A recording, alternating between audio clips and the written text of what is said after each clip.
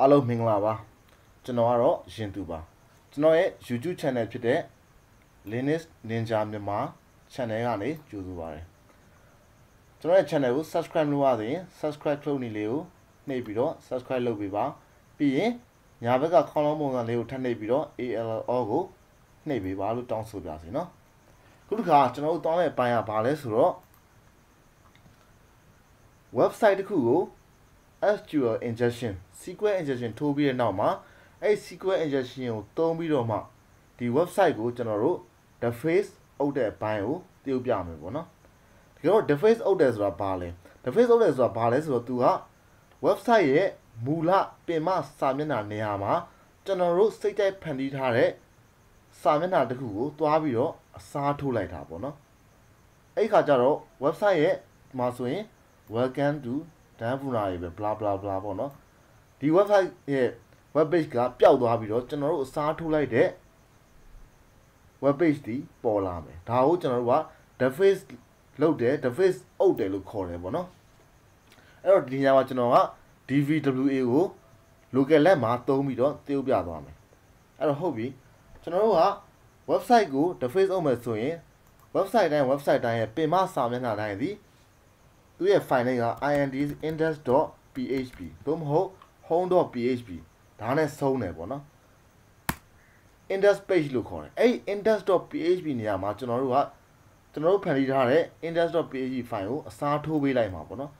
ဒါဆိုရင်ကျွန်တော်တို့ default လုပ်တာအောင်မြင်မယ်ဟုတ်ပြီအဲ့တော့ကျွန်တော်တို့က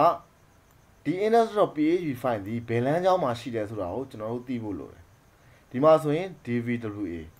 ဒါဆိုရင် तू က dvwa ဆိုတဲ့ folder ထဲမှာဒီ file ဒီရှိတယ်ဒါပေမဲ့သူ့ရဲ့လမ်းကြောင်းအပြည့်ကိုကျွန်တော်တို့သိဖို့လိုတယ်အဲ့ဒီအတွက်ကျွန်တော်တို့ကဘာလုပ်မလဲဆိုတော့သူ့ကို scan ဖတ်လိုက်မယ်သူဘယ် web server တုံးထားလဲပေါ့နော်အဲ့တော့သူ့ရဲ့ link URL ပေါ့နော်192.168.5.4 forward slash dvwa ပေါ့နော် okay ဟုတ်ပြီကျွန်တော် scan ဖတ်မယ်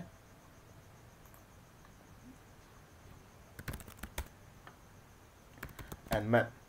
minus sd sg vg 192.168.5.4 enter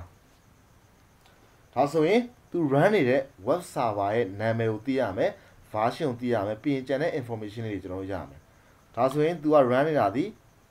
http apache web server ပြီးရင်သူ့ရဲ့ operating system က CentOS ကိုသူသုံးထားတယ်ပေါ့နော်အဲ့တော့ Apache web server ရဲ့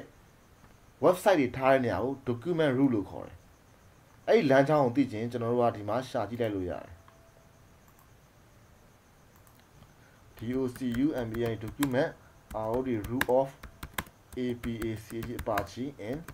linux linux ဒါဆိုရင်သူ့ရဲ့လမ်းကြောင်းကဒီမှာမြင်ရပြီ forward slash အောက်က var အောက်က www အောက်က html ဒါဆိုရင်သူ့ရဲ့လမ်းကြောင်းအပြည့်ကဘာဖြစ်သွားမလဲဆိုရင်ဒါမျိုးဖြစ်သွားမယ် forward slash ဒီနေရာမှာ dvwa အဲ့တော့သူ့ရဲ့လမ်းကြောင်းအပြည့်က dvwa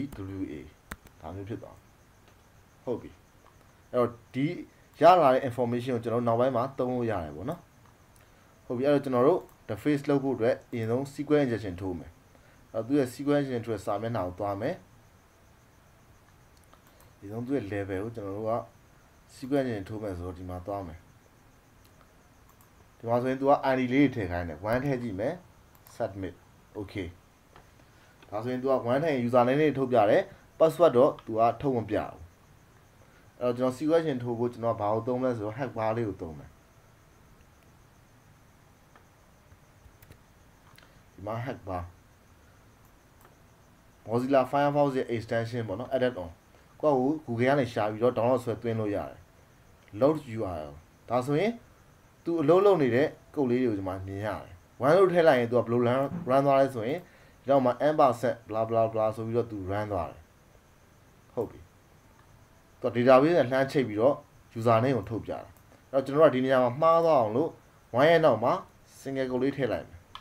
ပြီးရင် execute ဒါဆိုရင် error တက်သွားပြီမှားသွားပြီဟုတ်ပြီဒါဆိုရင်သူ့ကို SQL ပေါက်နေတယ်လို့ပြောလို့ရတယ်သူတက်သွားတဲ့ error တွေကိုအခွင့်ကောင်းယူပြီးတော့မှကျွန်တော်တို့ကလိုချင်တဲ့ data ကိုဆွဲထုတ်မှာဟုတ်ပြီ error တက်သွားပြီကျွန်တော်တို့ဒီနေရာမှာ single quote ရဲ့နောက်မှာ minus minus plus လို့ထည့်လိုက်မယ်ပြီးရင် h2 ဒါဆိုရင်ငကိုတိုင်းပြန်ပြတယ် single quote လေးပဲထားလို့ရှိရင် error တက်တယ် minus minus plus က comment sign ဆိုတော့ error တွေကိုဖယ်ရှားလိုက်တာနော် suppress လုပ်လိုက်တာ minus minus plus ထည့်ရင်သူကငကိုတိုင်းပြန်ပြတယ်အဲ့လိုလုပ်ထားကိုကျွန်တော်တို့ကဘာလို့ခေါ်လဲဆိုတော့ sequence injection မထိုးခင် balance လုပ်တယ်လို့ခေါ်တယ် minus minus plus မထည့်ရင် error တက်မယ် minus minus plus ထည့်ရင်ငကိုတိုင်းဖြစ်မယ်ဒါကိုကျွန်တော်တို့က balance လုပ်တယ်လို့ခေါ်တယ်ဟုတ်ပြီ balance လုပ်တာတော့မှန်သွားပြီအဲ့တော့သူ့မှာ ကျွန်တော်တို့ sequence injection ထိုးဖို့ column ဘယ်နှခုရှိလဲကျွန်တော်တို့ကြည့်လိုက်မယ် single quote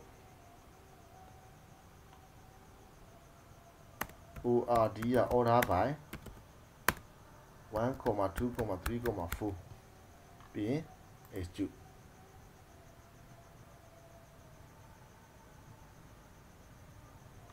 ဒါဆိုရင် error တက်ပြီ unknown column 3တဲ့ column number 3ကို तू မသိဘူး ဒါဆိုရှင်းနေပြီနံပါတ်3ကို तू မသိရင်သူ့မှာဘာပဲဘာအထိပဲရှိလို့လဲဆိုတော့2အထိပဲ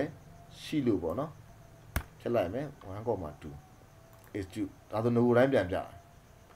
ဒါဆိုသူ့မှာသိကြတယ် column နှစ်ခုပဲရှိတယ်ဟုတ်ပြီအဲ့ဒါဆိုရင်ကျွန်တော်တို့ကစပြီးတော့ sequence ရင်ထုတ်မယ် UNI1 union SELECT select 1 comma add add VRSI1 version SQL database ရဲ့ version ကိုကျွန်တော်တို့သိကျင်လို့ edit version ဆိုတဲ့ function ကိုထည့်ပေးလိုက်တာဒီနေရာမှာကျွန်တော်တို့က single code ခံထားရတဲ့အတွက်ပထမ statement ကမှားသွားပြီဒါပေမဲ့ဒီ union union ရဲ့အလုပ်ကသူက statement နှစ်ခုကိုဆက်ပေးတာအဲ့တော့ပထမ statement မှားသွားပြီမဲ့ဒုတိယကျွန်တော်တို့ထိုးထည့်လိုက်တဲ့ select 1, edit version ဆိုတဲ့ဟာကိုသူက run ပေးတယ်အဲ့ကြတော့ဒီမှာဆိုရင်ကျွန်တော်တို့လိုချင်တဲ့ database ရဲ့ version ကိုကျွန်တော်တို့သိရပြီ 5.1.73ဟုတ်ပြီကျွန်တော်တို့တစ်ဆင့်ပြီးတစ်ဆင့်ထိုးသွားရင် user name တွေ password တွေကိုကျွန်တော်တို့သိရမယ်ဒါပေမဲ့ကျွန်တော်တို့လိုချင်တာ user name password မဟုတ်ဘူးဒီပင်မစာမျက်နှာ welcome ဆိုတဲ့နေရာမှာကျွန်တော်တို့ဖန်တီးထားတဲ့ web page နဲ့အစားထိုးချင်တာအဲ့တော့ကျွန်တော်တို့က user name password တွေမဖော်တော့ဘူး the face အုပ်ဖို့ကိုပဲဦးစားပေးမယ်ပေါ့နော်အဲ့တော့ကျွန်တော်တို့ ကုတ်တွေထိုးရမယ့်နေရာဒီဒီ edit version ဆိုတဲ့နေရာမှာကျွန်တော်တို့ကုတ်တွေကိုအစားထိုးသွားအောင်ကျွန်တော်တို့မှာ process လေးတွေဆင်ထားတယ်အရင်ဆုံးသူ့ရဲ့ operating system တွေကိုကျွန်တော်တို့ဝင်ကြည့်နိုင်ဖို့ command တွေ run နိုင်ဖို့အတွက်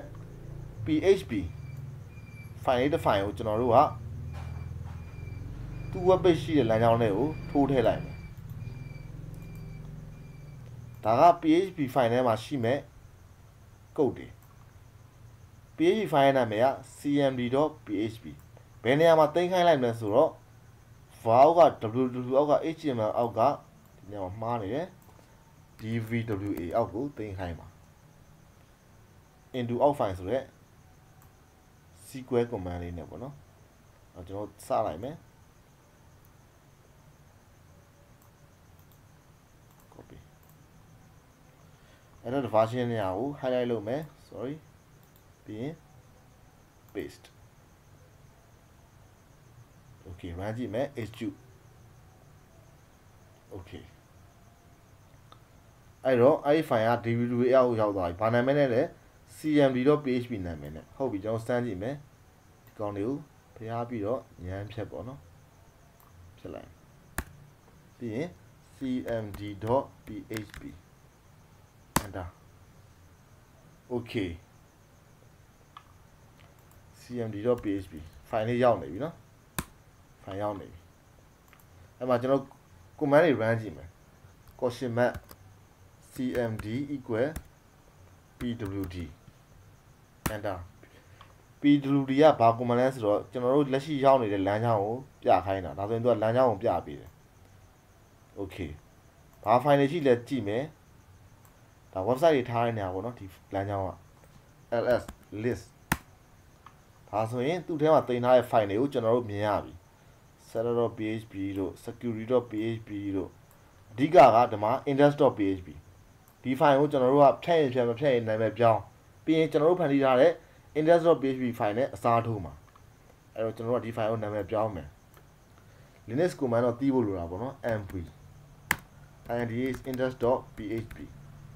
ပြီးရင် indes index.php.basic ub backup နာမည်ပြောင်းလိုက်ပြီးရင် enter ဟုတ်ပြီပြောင်းသွားလားမပြောင်းသွားလားကျွန်တော်ပြန်စစ်မယ် list ပြန်ထုတ်မယ် ls enter စာဆိုရင်ပြောင်းသွားပြီဒီမှာ index.php.backup ဖြစ်သွားပြီဟုတ်ပြီအဲ့တော့ဒီနေရာမှာကျွန်တော်တို့ဖန်တီးထားတဲ့ index.php file ကိုထိုးထည့်မယ်ထိုးထည့်မယ်ဆိုတော့ဒီတိုင်းကတော့အဆင်မပြေဘူး ဒီ web page တွေတင်ထားတဲ့ set နဲ့ကျွန်တော်တို့သုံးနေတဲ့ Kali Linux ကြားထဲမှာ connection ရှိဖို့လိုတယ်သူ့ရဲ့ command တွေကိုကျွန်တော်တို့ဝင်နိုင်ဖို့လိုတယ်အဲ့အတွက်ကျွန်တော်တို့ကဘာသုံးမလဲဆိုတော့ reverse shell ကိုသုံးမယ် reverse shell လို့ခေါ်တယ် reverse payload ပေါ့နော် payload sorry shell မဟုတ် payload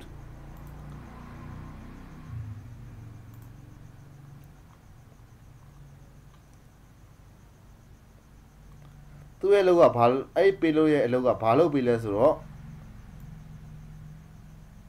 အဲ့ဒီ website ရှိတဲ့ operating system ရဲ့ command line ထဲကိုရောက်သွားအောင်ကျွန်တော်တို့ကိုသူကပို့ပေးတယ်ဟုတ်ပြီ copy တော့ကျွန်တော်တို့က CMD နေရာမှာဒီ payload ကိုအစားထိုးမယ်ထုတ်လို့လားဒီကနေထုတ်လိုက်ဒါဆိုလွယ်တယ် ls ကိုဖြတ်မယ် ls နေရာမှာဒီ payload ကို control p နဲ့ paste လုပ်လိုက်ဟုတ်ပြီဒီနေရာမှာသူ့ရဲ့ IP က 192.168. uh sorry ဟုတ်တယ်192.168.50.101ဒီနေရာမှာကျွန်တော်တို့ကစားသွင်းပြရသူ့ရဲ့ IP ကို5.4ပေါ့နော်ဟုတ်ပြီ5.4ကကျွန်တော်တို့သူ့ရဲ့ IP ကိုသိပြီဒါပေမဲ့အဲ့5.4ဒီကျွန်တော်တို့ local area network ထဲမှာရှိနေတာ ကျွန်တော်ပြောတာသဘောပေါက်လားမသိဘူးဒီ192.168.5.4ဆိုတဲ့ set ဒီကျွန်တော်တို့ရဲ့ local area network ထဲမှာရှိနေတဲ့အတွက်သူနဲ့ connection အေးစစ်စစ်ကျွန်တော်တို့မိတယ် network တူလို့ရှိရင်ဒါပေမဲ့တကယ် real world မှာအဲ့ဒီ website ကို run နေတဲ့ web server ဒီ internet ပေါ်မှာရှိတာ internet ပေါ်မှာရှိတဲ့အတွက်အဲ့ internet ပေါ်ဆက်နေကျွန်တော်တို့ဆက်နေရကြတော့ local area network လည်းမဟုတ်တော့ဘူးအဲ့တော့ connection မိစရာအကြောင်းမရှိတော့ဘူးအဲ့ကြောင့်ကျွန်တော်တို့ကဘာသုံးပေးရမလဲ ဂျားထဲမှာကျွန်တော်တန်နယ်လေးတစ်ခုဖောက်ပေးရမယ်အဲ့တော့ကျွန်တော်တို့ကဘာကိုသုံးလဲဆိုတော့ ng rock ကိုသုံးတယ်တခြားဟာတွေလည်းရှိတယ် savio တို့ local တန်နယ်တို့ဒါပေမဲ့အဲ့ကောင်တွေကတခါလေကြာရင်အလုံးမဖြစ်ဘူးအများအားဖြင့်အလုပ်ဖြစ်တာကတော့ဒီ ng rock ကအလုပ်ဖြစ်တယ်သူကကျွန်တော်တို့ရဲ့ Kali Linux machine နဲ့ internet ပေါ်မှာရှိတဲ့ server ဂျားထဲမှာ connection မိအောင်တန်နယ်လေးတစ်ခုသူကထိုးပေးတယ်ပေါ့နော် သွင်းပုံသွင်းနည်းသိချင်ရင်လိုချင်ရင်ဒီမှာအရင်ဆုံး sign up လုပ်ပြီးရင် login ဝင်ပြီးရင်သူမှာတစ်ဆင့်ချင်းတစ်ဆင့်ချင်းဘယ်လိုသွင်းရမလဲဘယ်လိုသုံးရမလဲဆိုတာကိုသူရှင်းပြထားတယ်။ Okay ကျွန်တော်တို့ဒီမှာသွင်းပြီးသွားပြီပေါ့နော်။အဲ့တော့ဟုတ်ပြီကျွန်တော်က ng-rock ကိုသုံးမယ်။ ng-rock rock tcp ပေါ်နံပါတ်က4444 enter ဒါဆိုရင်ကျွန်တော် internet ကျွန်တော်ဆက်က internet ပေါ်ရောက်သွားပြီဒါကျွန်တော်ရဲ့ domain name လေးတစ်ခုရပြီ port number လေးနဲ့ဒါဆိုရင် online ပေါ်မှာရှိတဲ့ server ကိုကျွန်တော်လှမ်းပြီးတော့ဝင်လို့ရပြီအမှန်ကကျွန်တော်ဒီနေရာမှာ tiêu ပြမယ်ဆိုရင် local set ဖြစ်တဲ့အတွက်ကျွန်တော်က local မှာ tiêu ပြသွားလို့ရတယ်ဒါပေမဲ့တကယ် real မှာ website လွှင့်ထားတဲ့ server နဲ့ကိုယ်နဲ့ network တခုတည်းမဟုတ်ဘူးလေဟိုကောင်ကြီးက internet ပေါ်မှာရှိတာ ဒါကြောင့်မို့ကျွန်တော်ကဒီမှာတခါတည်း real one နဲ့တူအောင်ကျွန်တော်သိဥပြသွားတာပေါ့နော်ဒီကောင်လေးရပြီဒါကျွန်တော်တို့ရဲ့ internet ပေါ်မှာကျွန်တော်သုံးလို့ရတဲ့ address ဟုတ်ပြီအဲ့ကြတော့နောက်တစ်ခုထပ်ဖွင့်မယ် connection ကိုစောင့်မယ် network ကိုသုံးမယ် nc -ln vp 4444 enter ဟုတ်ပြီဟိုဘက်က reverse ပြန်လာမယ် connection ကိုကျွန်တော်စောင့်နေတာပေါ့နော် အဲ့တော့ဒီနေရာမှာကျွန်တော်ဒါလေးကို copy okay ပြီးရင်သွားမယ်ဘယ်နေရာမှာအစားထိုးပေးရမလဲဆိုတော့ဒီမှာ190.16.110.100 colon colon 44ဆိုတဲ့နေရာမှာဒီဟာလေးကိုအစားထိုးပေးမယ် paste okay ပြီးရင် execute ပုံဖွက်စင်ပြေပါစေ okay ဒီမှာ connection မိသွားပြီ connect to ဖြစ်သွားပြီအဲ့မှာကြည့်လိုက်မယ် id command နဲ့ကျွန်တော်ဟိုဘက်ဆက်ထဲကို website လွှင့်ထားတဲ့ server တွေကိုကျွန်တော်ရောက်နေပြီဘယ် user account နဲ့လဲဆိုတော့ apache ဆိုတဲ့ user account နဲ့ user id 48ပေါ့နော်ဟုတ်ပြီလမ်းကြောင်းကိုကြည့်လိုက်မယ် pwd print working directory ကွက်တိပဲ var က www အောက်က html အောက်က dvwa ls နဲ့ကြည့်လိုက်မယ်အဲ့မှာစောစော file တွေကိုကျွန်တော်မြင်ရပြီအဲ့မှာ index.php.backup ဖြစ်နေအဲ့မှာကျွန်တော်ကဘာလုပ်ပေးရမလဲဆိုတော့ series ရ clear ကျွန်တော်ကဘာလုပ်ပေးရမလဲဆိုတော့ index.php file လေးပြန်ဆောက်ပေးရမယ်အဲ့ဒီအနေထားမှာအဲ့ဒီ web page ကဘာဖြစ်သွားလဲဆိုတော့ကျွန်တော်ပြမယ်နော်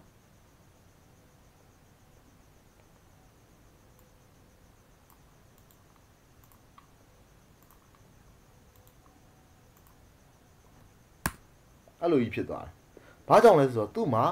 ပင်မစာမျက်နှာမရှိတော့ဘူးကျွန်တော်နာမည်ပြောင်းပလိုက်လို့သူ့မှာပြစရာမရှိတဲ့အတွက်သူကဒီမှာသူ့ရဲ့ file တွေကိုထုတ်ပြရတယ်ပေါ့နော်အဲ့လိုဖြစ်သွားဟုတ်ပြီအဲ့တော့ကျွန်တော်ကကျွန်တော်ရဲ့ the face the face code တွေကိုထိုးထည့်မယ်အဲ့ဒီမှာလွယ်လွယ်လေး echo နဲ့ထိုးထည့်မယ်အခုကလှတာပတာလေးပါညာ ပြင်ရင်ပြင်လို့ရတာပေါ့နော်ဒီမှာတော့ကျွန်တော်အကြမ်းမြင့်လောက်ပဲပြင်ထားတယ် okay ပြီးရင် terminal ကိုသွားမယ် paste file name က index.php ဒီ code တွေအားလုံးကို index.php ဆိုတဲ့ file လေးတွေကိုတွင်းလိုက်မှာ file မှာတစ်ခါစောက်ပြီးသားပေါ့နော် enter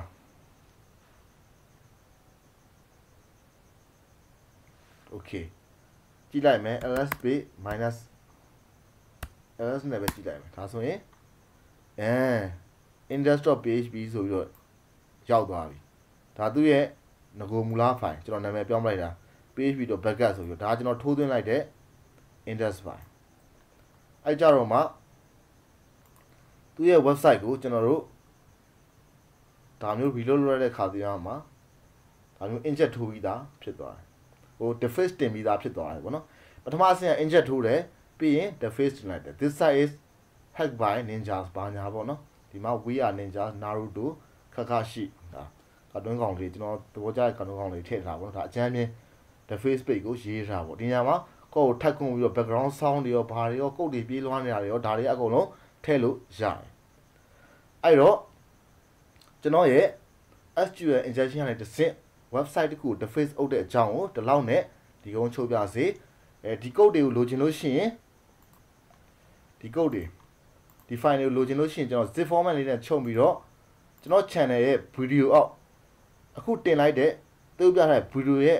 အောက် comment box ထဲမှာကျွန်တော် link လေးချပေးထားတယ်ဒီကုတ်တွေအားလုံးကိုဒီ robust payload တွေရောဒီကုတ်တွေအားလုံးကိုအဲ့ရနေ link လေးရနေ download ဆွဲလို့ရတယ်ပေါ့နော်အဲ့တော့ထပ်ပြောပြစီကျွန်တော်ရဲ့ Linux တင်ကြမြန်မာ channel လေးကို subscribe လုပ်ရသေးဘူးဆိုရင် subscribe ခလို့လေးကိုနှိပ်ပေးပါပြီးရင်ညာဘက်ကခေါင်းပုံစံလေးကိုနှိပ်ပြီးတော့ ALO ကိုထပ်နှိပ်ပေးပါเนาะအားလုံးကျေးဇူးတင်ပါတယ်ကြည်ပေးတဲ့အတွက်အားလုံးအဆင်ပြေပါစေ